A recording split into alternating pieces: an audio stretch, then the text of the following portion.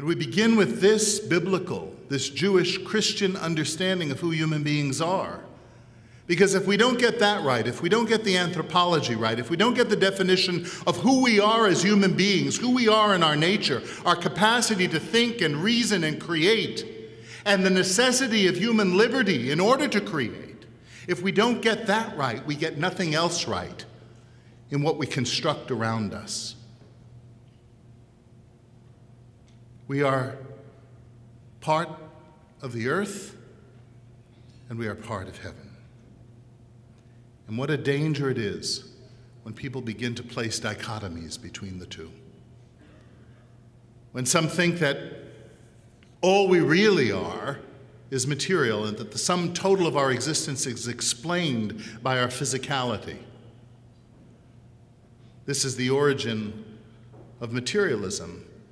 Morally, it becomes relativism because nothing really matters if we're not created with purpose, if we're not created with intention, if we are not designed by a creator who intended to design us, then we are, as Sartre said, a speck of dust on a speck of dust floating in a cold and uncaring universe. But if this image of Michelangelo, even in the slightest way, be able, is able to depict the reality of our origin, then a whole different vision emerges of who human beings are. And this inherent dignity that we possess, not because any legislature or politician or society or even family has given us that dignity.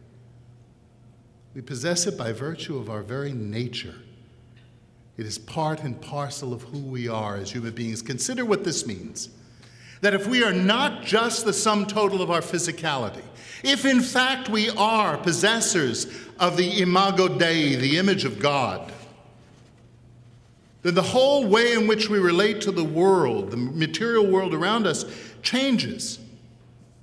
It is not a materialist assumption, neither in what we create nor in how we minister to those and tend to the needs of those who are in need. We neither create as, all, as though all that matters is physical, monetary reproduction. And neither do we tend to the poor and the vulnerable as all they were were animals in need of water and shelter and food. No, because we know we are touched with this divine origin, we treat others as beings who have immortal destinies as well. Socialism, collectivism, fascism, all of these other political entities that attempt to distort or separate the divine image from the human person manipulate, and see the human being as a means to someone else's political end or agenda. And I think that Rich tonight has not gone too far in insinuating the threats that face us as a nation. And if they face this country, then they face the world, these threats. We must stand against that with the knowledge of who we are in our origins and what we are called to in our eternal destiny.